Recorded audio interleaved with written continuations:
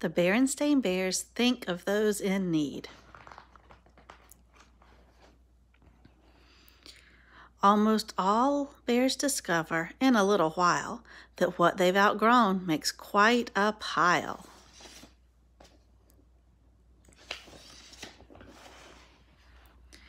The bear family enjoyed the good things in life as much as anyone else. They enjoyed good food and good times. They enjoyed a snug tree house and a comfortable chair before a crackling fire. They enjoyed books and music, toys and games, quilts and cuckoo clocks. But sometimes it seemed, especially to Mama, that perhaps the bears were enjoying too much of a good thing. It was also clear to Mama, as she managed the treehouse, that they had a problem. A problem that came under the heading of too much stuff. Oh, their toys are all over the floor, aren't they? Too much stuff in the closets. Too much stuff in the drawers. Too much stuff in the basement. Too much stuff in the attic. There was too much stuff everywhere. It all made Mama a little uneasy. It was beginning to be a worry. Papa thought there was a too much stuff problem too, but he was more annoyed than worried. Annoyed about a fast wheels car that brother had left on the stairs. Oh, he tripped on it, didn't he? And a squeaky duck that sister had left in the bathtub. Squeak. But there was much more on Mama's mind than fast wheels cars and squeaky ducks. What was beginning to worry her was that they had so much, while some others had so little. And as sometimes happens with a worry, when you go to bed, it can turn into a nightmare. That's what happened to Mama. Too much stuff, too much stuff. All the stuff is chasing her and yelling too much stuff in her dream. One night she dreamed that all their stuff came to life and poured out of every drawer and closet and nook and cranny in the house, chanting, Too much stuff, too much stuff. What's the matter, Papa? When Mama asked Papa when Mama woke up screaming. It was just a dream, my dear, Mama said. But though it was a dream, she knew what she had to do. The next morning at breakfast, she made an announcement. This family, she said firmly, has altogether too much stuff. It's time we get rid of some of it. Stuff, said Brother. What sort of stuff? Stuff like dolls with no heads, Mama said. Broken airplane models. Old puzzles. Games that nobody plays with. And fast wheels cars on the stairs and squeaky ducks in the bathtub, chimed in Papa. Now, wait a minute, protested Sister. That's all our stuff. What about some of your stuff? My stuff, said Papa. Like what? Like your 17 fishing rods, said Brother. And the zillions of old fishing magazines you have stacked up in the attic, added Sister. But those are all valuable collectibles, said Papa. Mama groaned.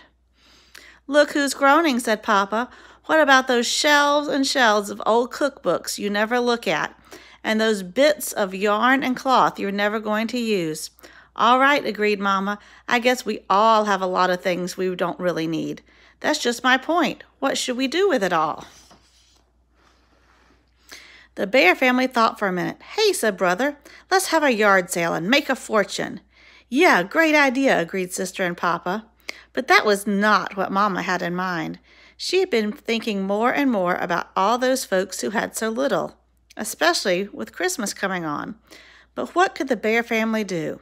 Mama already had a plan in mind. First, she had Papa and the Cubs go through all their stuff and make three piles.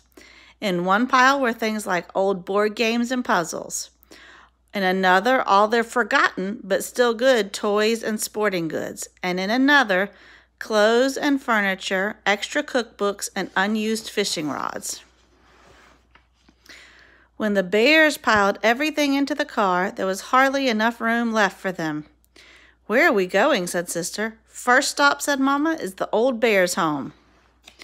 The old bear's home was where older bears went to live when they needed help taking care of themselves. Nurses and doctors looked after them and made sure they were in good health. But sometimes the older bears got a little lonely and bored. They liked visitors and things to do. That was part of Mama's plan. When the family arrived at the old bear's home, they handed out their games and puzzles to the older bears and then sat down to play games and do puzzles with them. At first, brother and sister were a little shy and embarrassed. The older bears were just so old. But after a while, they got over it. The bears in the home weren't any older than their neighbor, Miss McGrizz, and she was okay. Soon they were having a fine time, and so were all the older bears. They were all sorry when it was time to leave. The next stop was the Beartown Young Cubs Hospital. Brother and sister knew about the hospital. Brother had gone there to get his ankle x rayed the time they thought it was broken, and sister had come along to watch.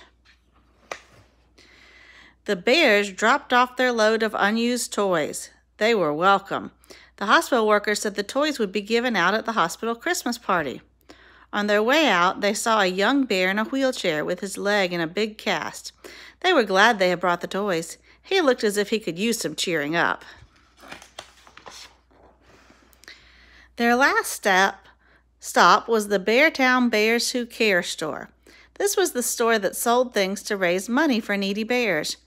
Bears who needed warm clothes and good food. The store was run by bears who wore uniforms and often played in a band in front of the store. There says Bears Who Care, and there's their little band playing in front of the store. The bears lugged all their old clothes and furniture and stuff into the store. On the way, they stopped to sing a few Christmas carols with the band. There was a big iron pot out on the sidewalk for collecting money for the needy. Papa gave Sister a dollar to put in it. They headed home with warm feelings about what they had done. As they drove along, they passed the lighted windows of the Beartown department store. They were beautifully decorated for Christmas. There was window after window of new toys and games, new things for the house, and the very latest things in fishing poles. But the members of the bear family were so filled with special thoughts about helping others that they hardly noticed the wonderful things in the windows.